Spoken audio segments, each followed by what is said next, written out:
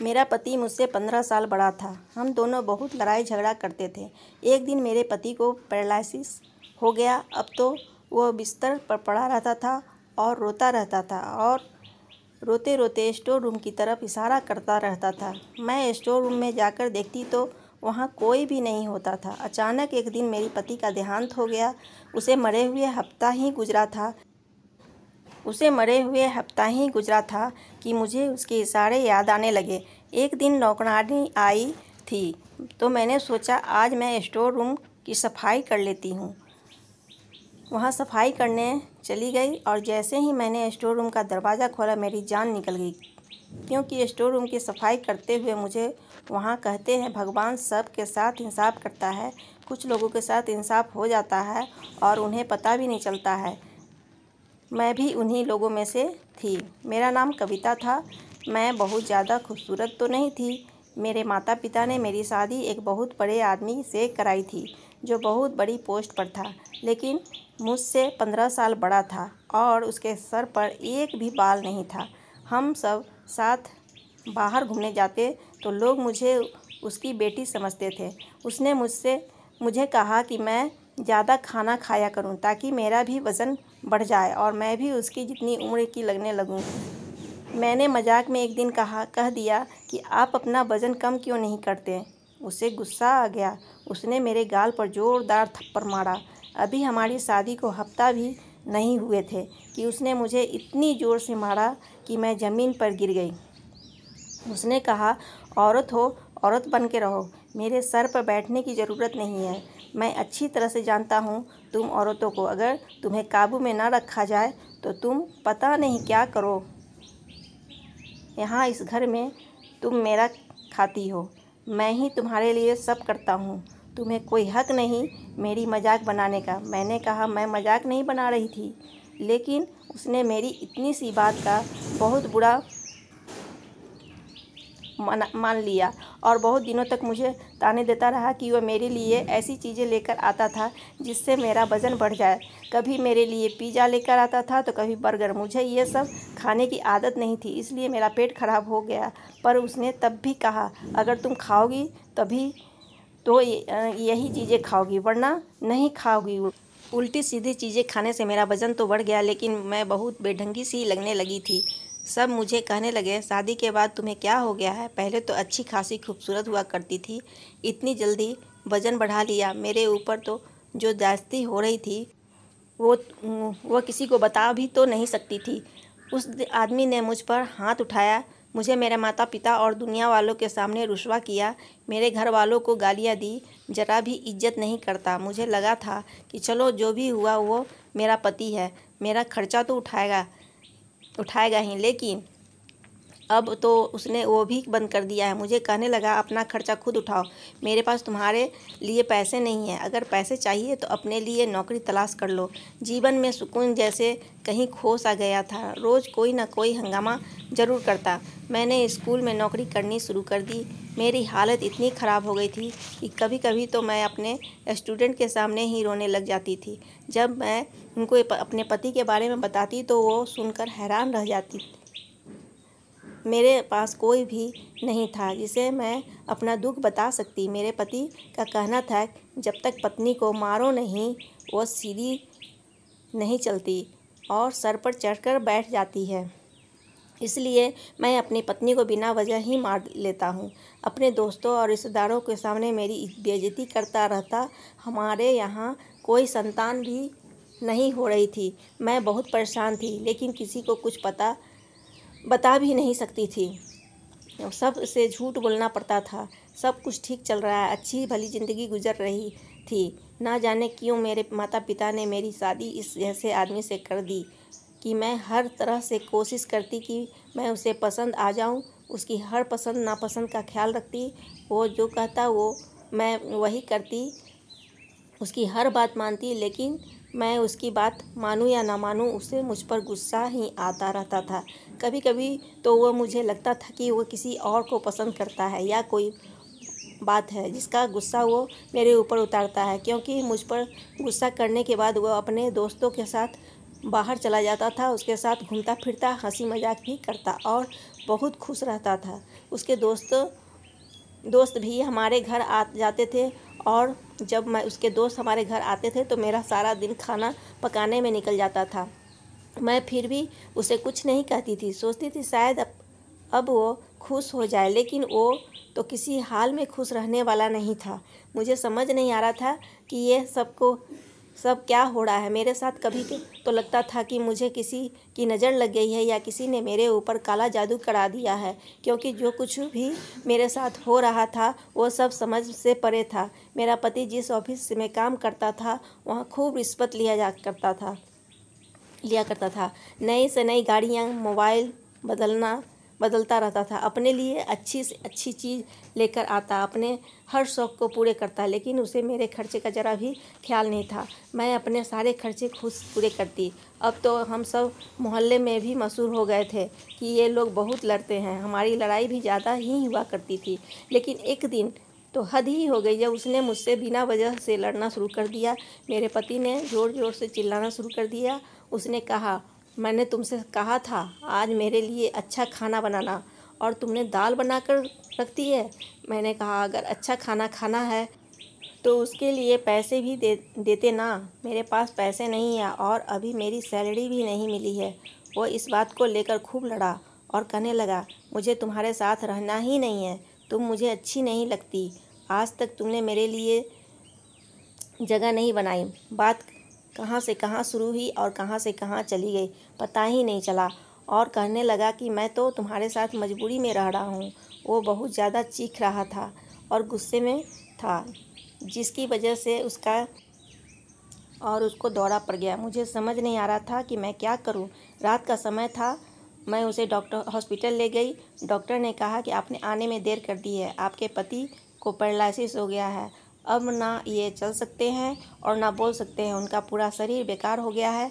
बस ये अपनी दोनों आँखें और तीन चार उंगलियाँ ही हिला सकते हैं। मेरे पति ने गुस्सा किया और गुस्से में आकर अपना ही नुकसान कर लिया। गुस्से की वजह से उनका बीपी हाई हुआ और अटैक आ गया। खैर, हफ़्ते भर हॉस्पिटल में रहे, फिर घर आ गए। अब मैं ही उनका ख्याल रखा करती थी। वो बोल नहीं सकता था। ना ही हिल सकता था, लेकिन उसे अपने किए पर अब भी कोई अफसोस नहीं था। मैं भी इन सबसे खुश नहीं थी। वो जैसा भी था, मेरा पति था। मैं नहीं चाहती थी कि उसके साथ कभी ऐसा कुछ हो। एक पत्नी कभी भी अपने पति का बुरा नहीं सोच सकती है। चाहे पति जैसा भी हो, अब तो हमारे घर में पैसों की भी परेशानी होने लगी। नौकरी भी करती, घर का काम भी करती और उसे भी संभालती। अब उसकी आँखें बदल, बदलने लगी। वो सोचने लगा था कि मेरी पत्नी जिसके साथ मैंने इतना बुरा किया, उसे मारा पिटा, उस पर गुस्सा किया, अब भी वो मेरा इतना ख्याल कर रही है, मेरी खिदमत कर रही है। एक दिन मेरे पति ने मुझे अजीब सा इशारा किया। मैं समझी नहीं कि वो क्या कर रहा है। उसने अपनी उंगली से इशारा किया कि मुझे लगा कि वह कह रहा है कि मुझे बाथरूम जाना है या मुझे भूख लगी है। लेकिन आज उसने जो इशारा किया, वो अलग था। वो स्टोर रूम की तरफ़ इशारा कर रहा था, लेकिन इसका मतलब ये नहीं था कि उसे स्टोर रूम में जाना है। मैंने उससे पूछा, क्या हुआ? आप स्टोर रूम की तरफ़ इशारा क्यों कर रहे हैं? क्या आपको स्टोर रूम जाना है? तो उसने मना कर दिया। मैंने घर में एक नौकरानी रख ली थी, क्योंकि मैं आधे दिन घर में नहीं रहती थी। और अपनी नौकरानी भी नहीं छोड़ सकती थी। अगर मैं नौकरी नहीं करती तो घर का खर्चा कैसे चलाती? इसलिए मैंने एक नौकरानी रख ली। ऑफ़िस वालों ने मेरे पति का हिसाब भी क्लियर कर दिया। अब तो नौकरी पर भी नहीं जा रहा, जा सकता था। इसलिए उसकी तनख्वाह भी आना, आनी बंद हो गई। और जो उसकी अभी तक की तनख्वाह और फंड है, उसका मिलने में थोड़ा टाइम लगेगा। जब मैं उनको फ़ोन करती तो वो कोई बहाना बना लेते वो पैसे भी हमें नहीं मिल रहे थे। और मेरे पति का काम ऐसा था कि उसे बहुत लोग जानते थे और उससे डरते थे। उसके दस्खत के बगैर फ़ाइल पूरी नहीं होती थी, इसलिए उसे लाखों रुपये रिश्वत भी देते थे। उसके कुछ रिश्तेदार थे जो पहले तो पैसों के चक्कर में उसके आसपास रहते थे, लेकिन जैसे ही उसका बुरा समय आया सबने साथ छोड़ दिया। अब उसे एहसास हुआ कि मेरे बुरे समय में मेरी पत्नी ही मेरे साथ है। वो रोज़ रात को स्टोर की तरफ़ इशारा करता और रोता रहता। उसे देखकर मुझे भी रोना आ जाता था, क्योंकि मुझसे उसकी ऐसी हालत देखी नहीं जा रही, जाती थी। हमारी शादी को पाँच साल हो गए थे और इन पाँच सालों में उसने मुझे चैन का सांस लेने नहीं दिया। हर रोज़ मेरा खून जलाता था बहुत तकलीफ़ दी है उसने मुझे, लेकिन मैंने उसे माफ़ कर दिया है, था। शायद उसको, उसके लिए ही सज़ा मिल रही थी। उसे और सज़ा नहीं देना चाहती थी। वो रोता रहता था और बार बार इशारा करता। मैं उसके इशारे पर जाकर देखती, लेकिन मुझे वहाँ कुछ नहीं मिलता। ना उसकी कोई चीज़ वहाँ थी और ना ही कोई ऐसी चीज़ थी जो उसे चाहिए हो। अब बार बार इंसान एक चीज़ की तरफ़ इशारा कर रहा है इसका यही मतलब है कि कोई बात तो ज़रूर है, लेकिन मैं समझ नहीं पा रही थी। एक दिन उसकी कजिन हमारे घर आ गई और हैरत की बात है। वो उससे तो नहीं मिली, लेकिन मुझसे अजीब गरीब बातें कर रही थी। कहने लगी, तुम्हारे पति का तनख्वाह और फंड के पैसे कब मिलेंगे? मैंने कहा, पता नहीं। मैं रोज़ फ़ोन करती हूँ और लोग कुछ ना कुछ बहाना बना देते हैं। कहने लगी, बहुत सारे पैसे होंगे। ना, तुम इतने पैसों का क्या करोगी? मैंने कहा, अपने पति का इलाज कराऊँगी। हो सकता है दूसरे शहर में इसका इलाज हो जाए। तो मुझसे पूछने लगी, कहीं तुम्हारे पति ने दूसरी शादी तो नहीं कर रखी है? मैंने कहा, मुझे नहीं पता। लेकिन वह मुझे अपने पैसे नहीं देते थे। बोली, तब तो ज़रूर इसने दूसरी शादी कर ली होगी। मैंने कहा, अगर ऐसा होता तो औरत अभी तक यहाँ आ गई होती। लेकिन मेरी पति ने मुझे ऐसा कुछ नहीं बताया और ना ही उसने मुझसे छुपा कर दूसरी शादी की है। उसने कहा, तुम झूठ बोल रही हो। इसकी सारी दौलत तुम्हारे पास ही है। ये कई लोगों से लाखों रुपए रिश्वत लेता था। तुम्हारे ऊपर ही उड़ाता होगा, तुम्हारे नखरे देखता होगा। मुझे भी गुस्सा आ गया। मैंने कहा, देखो, मैं खुद नौकरी करती हूँ। सर्दी हो या गर्मी, या मेरी तबीयत ख़राब हो, मैं ज़रूर अपनी नौकरी पर जाती थी। महीने के तीस दिन अपना असर खपाने के बाद मुझे तीस हज़ार रुपये मिलते हैं और वो भी घर के खर्चे में ख़त्म हो जाते हैं। तुम्हें उसके पैसे चाहिए तो खुद तलाश कर लो। उसके पैसे भी, उसकी दूसरी पत्नी भी अगर मिल जाए तो मुझे बता देना और कहा कि तुम बहुत बदतमीज़ हो और तुम्हारा पति भी ऐसा ही था, इसलिए आज इस हाल में पड़ा है। तुम देखना कहीं तुम भी इसी हाल में ना पहुँच जाओ। आज वो लोगों का मोहताज है। कल तुम्हें भी मोहताज ना बन जाना पड़े। अगर ऐसा हुआ तो तुम दोनों का ख्याल कौन रखेगा? तुम तो तरप तरप कर भगवान को प्यारे हो जाओगे। मैं उसकी बातें सुनकर हैरान रह गई और सोचने लगी, कैसी दुनिया है? ये लोग किसी भी हाल में आपको नहीं छोड़ते। मैंने उससे अभी तमीज़ के साथ कहा, तुम यहाँ से जा सकती हो। फिर वह चली गई। मैंने सब बात अपने पति को बताई। वह सुन भी रहा था, समझ भी रहा था और रो रहा था। वह मुझसे शायद बातें करना चाहता था, लेकिन अब वह बोल नहीं सकता था। अगले दिन मैंने डॉक्टर से चेकअप कराया तो डॉक्टर ने भी यही कहा कि इनके ठीक होने की उम्मीद बहुत कम है। अभी तो ये ऐसे ही रहेंगे, आगे भगवान की मर्ज़ी। लेकिन अगर आप चाहें तो किसी और डॉक्टर को दिखा सकती हैं या किसी और शहर ले जा सकती हैं। डॉक्टर हर माह आकर चेक करते थे, लेकिन कोई अच्छी खबर नहीं मिल रही थी। बस मेरा पति बार बार स्टोर रूम की तरफ़ इशारा करता रहता और मैं समझ नहीं पाती थी कि वो क्या कहने की कोशिश कर रहा है। वो यूँ ही रोता रहता। डॉक्टर कहते, अगर ये रोते रहेंगे तो इनकी आँखें ख़राब हो जाएगी और दवाई भी असर नहीं करेगी। मैं उन्हें समझाती और कहती कि आप रोया ना करें। सब्र करें। एक दिन जब सवेरे में उनको जगाने की गई तो मैंने देखा कि वह जाग नहीं रहे थे। तब मुझे एहसास हुआ कि वह इस दुनिया में नहीं रहे। मेरे पैरों तरह ज़मीन निकल गई। मैंने डॉक्टर को बुलाया। उन्होंने कहा कि इनका देहांत हो चुका है और इनके लिए यही अच्छा हुआ, क्योंकि ये जीने की उम्मीद छोड़ चुके थे। और बहुत तकलीफ़ में थे। अच्छा हुआ, इन्हें भगवान ने बुला लिया। मुझे ये सुनकर बहुत ही सदमा लगा और मैं रोने लगी। वह जैसे भी थे, आखिर मेरे पति थे। उन्होंने मेरे साथ कुछ भी किया हो, लेकिन उन्हें भी जीने का हक था। मैंने पूरी इज़्ज़त के साथ उनका क्रियाक्रम किया। मैं कुछ समय नौकरी पर रह नहीं गई। मैं घर में ही रहती और मेरे साथ घर में एक नौकरानी रहती थी। वही घर का सारा काम करती थी। खाना बनाना, सफ़ाई करना, कपड़े धोना, मेरे पति के देहांत के बाद मेरा किसी काम में दिल नहीं लगता था। एक दिन किसी ने दरवाज़ा बजाया और मुझे नौकरानी ने आकर बताया कि मुझसे कोई औरत मिलना चाहती है। उसके साथ बच्चे भी हैं। मैंने कहा, क्या नाम है? उसका, उसने मुझे नाम बताया। मैंने कहा, मैं इस नाम की किसी औरत को नहीं जानती थी और ना ही उसके बच्चे को मैंने कहा कौन है? आप उस, उस उसने कहा मैं तुम्हारे पति की दूसरी पत्नी हूँ और अब वो मर गया है तो मैं अपना और अपने बच्चों का हिस्सा लेने आई हूँ। तुम्हारे पति ने तीन साल पहले मुझसे छुपकर शादी कर ली थी और तीन साल में मेरे दो बच्चे भी हैं। अब मैं अपना हक लेने तुम्हारे पास आई हूँ। जब मैंने ये बात सुनी तो मुझे उस औरत का ख्याल आ गया जो उस दिन हमारे घर पर आई थी। इसका मतलब वो गलत नहीं। कह रही थी और इनके बाकी रिश्तेदार भी सही सोचते थे। मैंने कहा, तुम्हें शर्म नहीं आई? एक शादीशुदा आदमी से शादी करते हुए उसने कहा, इसमें मेरा क्या कसूर है? वह तुम्हें पसंद नहीं करता था। तुम उसे अच्छी नहीं लगती थी और मैं खूबसूरत हूँ, हसीन हूँ और मेरे पीछे पड़ गया और मुझसे शादी कर ली। मैंने कहा, खूबसूरत तो मैं भी थी, लेकिन उसने मुझे जानबूझकर बसूरत कर दिया है। उसने कहा, मर्द ऐसा क्यों करेगा? शायद तुम्हारी किस्मत ही ख़राब थी। खैर, छोड़ो इन बातों को। अब वो इस दुनिया में नहीं रहा। मेरा हिस्सा मुझे दे दो। मैंने कहा, वो मेरे पास कुछ नहीं छोड़ कर गया है। मैं अपना खर्चा भी अपनी नौकरी करके ही चलाती हूँ। और जो उसके फंड और तनख्वाह है, वो अभी तक मिला नहीं है। जब मिल जाएगी तो मैं तुम्हें उसमें से आधा पैसे दे दूँगी।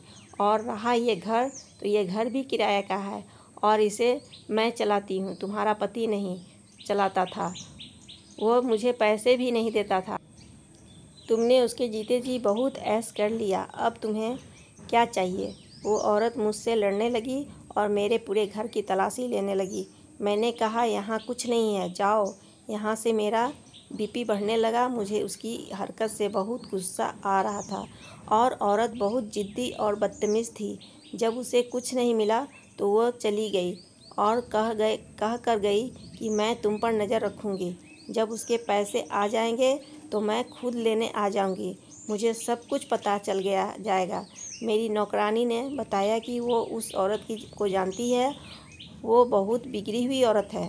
अमीर आदमी को पहले फंसाती है, फिर उससे शादी करती है और फिर उसके बाद उनके सारे पैसे ले लेती है। या तलाक का नाम पर बच्चों का खर्चा मांगती है।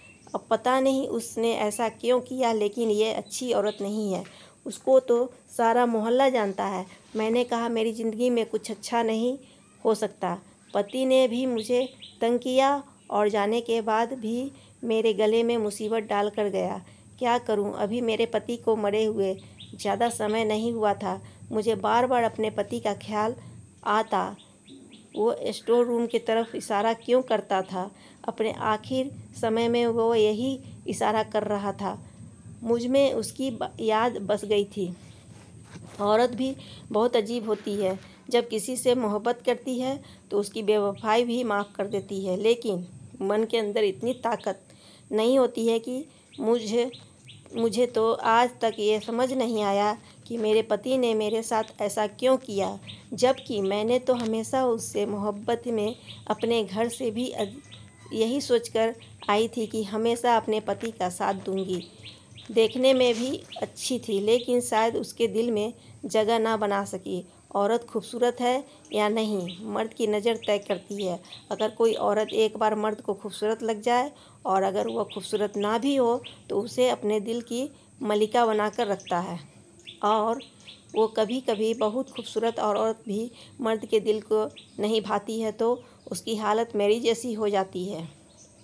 क्योंकि आजकल तो हालात ही ऐसे थे कि मैं अब दिन भर रोती रहती थी, खाना भी नहीं खाती थी, हर समय दिमाग टेंशन में रहता था। लेकिन मेरे पास अब क्या रह गया था? मेरी उम्र भी अब भी कोई ज़्यादा नहीं हुई थी। मुझे किसी से शादी भी नहीं करनी थी। मेरा ऐसा कोई इरादा नहीं था। मैं सिर्फ़ अपनी ज़िंदगी चैन सुकून से और अपने तरीके से जीना चाहती थी और मेरे दिल में अब कोई चाहत बाकी नहीं रही थी। मेरी ज़िंदगी का कोई मकसद नहीं था। मैं घर में ही रहती। मेरे पति के पैसे भी नहीं आ रहे थे और उनकी दूसरी पत्नी फ़ोन कर कर मुझे परेशान करती रहती। पैसों का पूछ पूछ कर मुझे तंग करती रहती थी। मेरे पास सब पैसे ख़त्म हो गए थे। मैंने नौकरानी से भी कहा कि वो काम छोड़कर चली जाए। मैं अब उसको पैसे नहीं दे सकती। मैं हैरान रह गई जब एक दिन वो मेरे लिए खुद अपने घर से खाना बनाकर लाई और कहने लगी, आप बहुत अच्छी हैं मैडम, आपने मेरा बहुत ख्याल रखा है, मेरे पास इतना ही है। मैडम, मैं आपके लिए खाना ही ला सकती हूँ। उस दिन मुझे पता चल गया कि अगर हम दुनिया में किसी अच्छे इंसान के साथ अच्छा करते हैं तो हमारे साथ उससे भी अच्छा करता है। उसके पास तो खुद कुछ नहीं था, वो गरीब थी, चार बच्चे थे। मैं उसके ऊपर बोझ नहीं बनना चाहती थी। मैंने उससे कहा, अगर मेरे हालात अच्छे हो गए तो मैं तुम्हें ही काम पर बुला लूँगी और तनख्वाह भी दे दे दूँगी। उधर उनके ऑफ़िस वाले पैसे देने के तैयार नहीं थे, शायद वो पैसे खाना चाहते थे। इधर उनकी पत्नी ने मुझे तंग कर कर रखा था। मेरी एक दोस्त थी जिसने मैंने, जिससे मैंने उधार ले रखा था और किसी तरह का खाना पीना चल रहा था, वो भी ख़त्म होने वाले थे। मैं बहुत ज़्यादा परेशान थी। नौकरानी को भी मैंने हटा दिया था। घर भी कुछ बहुत ज़्यादा गंदा हो रहा था। वैसे भी करने को कुछ नहीं था। मैंने सोचा, आज सफ़ाई कर लेती हूँ। मैं स्टोर रूम में चली गई। वहाँ जाते ही मुझे अपने पति की याद आने लगी। मैं सोचने लगी कि वो बार बार इधर इशारा क्यों करते थे कि अचानक मेरा पैर फिसल गया और मेरा हाथ दीवार पर लगा, लग गया, जिससे मेरे कलाई में चोट लग गई और वहाँ पर एक टाइल्स टूट गया। जब मैंने उस टाइल्स को देखा तो मेरे पैरों तरह ज़मीन निकल गई। मुझे यकीन नहीं हुआ कि मेरी आँखें क्या देख रही है। इस दीवार के पीछे एक कमरा बना हुआ था और उसमें एक तिजोरी बनी हुई थी। जब मैं अंदर गई तो मेरे पैरों तले ज़मीन निकल गई। उसके अंदर ढेर सारी दौलत, सोना, चांदी और न जाने क्या क्या कुछ था। मैं समझ गई कि वह इसी तरफ़ इशारा कर, किया करता था। लेकिन पता नहीं था कि जैसे कि मेरे पति के बारे में मशहूर था कि वह बहुत ज़्यादा रिश्वत लिया करते थे। शायद यह सब उन्हीं रिश्वत के पैसों का बना हुआ था। मैंने सब सामान वहाँ से निकाल लिया और उस जगह को बंद कर दिया और पहले की तरह कर दिया ताकि कोई पहचान न सके। अगले दिन मैं नौकरानी को बुलाया और कहा कि घर का सारा सामान पैक कर दो, मैं यहाँ से जा रही हूँ। वैसे भी यह घर किराए का है। मैं सोच रही थी कि दौलत में से कुछ हिस्सा अपने पति को, दूसरी पत्नी को दे दूँ। लेकिन नौकरानी ने बताया कि वो दोनों बच्चे उसके नहीं थे। वो झूठ बोल रही थी। वो बच्चे किसी और के थे। वो आपके पति के बच्चे नहीं थे। वो औरत हमारे मोहल्ले में रहती है। कल एक आदमी आया था और अपने बच्चे लेकर चला गया हो। हो सकता है आपके पति ने उससे शादी ना की हो। वह झूठ बोल रही हो। क्योंकि ये औरत ऐसे ही ड्रामा करके पैसे ऐंठती है। मैं खामोश उसकी बात सुनती रही। मैंने नौकरानी को उसकी तनख्वाह और कुछ पैसे दे दिए। उसे लगा कि शायद मुझे ऑफ़िस से पैसे मिल गए हैं, लेकिन ऑफ़िस वाले तो पैसा खा कर बैठ गए थे। मैं वहाँ से चली गई। मैंने कुछ सामान भी उसे दे दिया और थोड़ा बहुत सामान अपने साथ लेकर दूसरे शहर चली चली थी। वहाँ पर ही मैंने नौकरी करनी शुरू कर दी। आज मेरे पास घर ही है, गाड़ी भी है और मेरे अपने पति के नाम से एक अनाथ आश्रम बनवा रही हूँ क्योंकि ये पैसे उनके ही थे, उन्हीं ने रखे थे और वो तो मुझे देना भी नहीं चाहते थे, लेकिन शायद किस्मत को यही मंजूर था। ये पैसे मुझे ही मिलने थे। मैं इन पैसों से कोई अच्छा काम करना चाहती थी। ये सब सुनने में अजीब लगता है, लेकिन मेरा पति मुझसे पंद्रह साल बड़ा था। उसने इतने सालों से ये पैसा जमा किए थे, लेकिन वो इसे खर्च नहीं कर पा, पाया। यही तो जीवन है। इसमें ऊँच नीच होती रहती है, लेकिन अब मैं किसी पर भरोसा नहीं कर सकती, इसलिए दूसरी शादी नहीं करना चाहती। मैंने आगे पढ़ाई करने का फ़ैसला किया ताकि मैं एक अच्छी जॉब कर सकूँ, क्योंकि चाहे आपके पास दौलत या का दरिया क्यों ना हो, वो एक दिन ख़त्म हो ही जाता है। मैं अपने पति को खुशी से याद करती हूँ और उसकी आत्मा के लिए भगवान से प्रार्थना करती हूँ, क्योंकि वो जैसा भी था मेरा पति था। दोस्तों, उम्मीद करती हूँ कि आपको हमारी कहानी पसंद आई होगी। कहानी पसंद आई तो वीडियो को लाइक करें, चैनल को नए हैं, चैनल पर नए हैं तो चैनल को सब्सक्राइब कीजिए। Thanks for watching.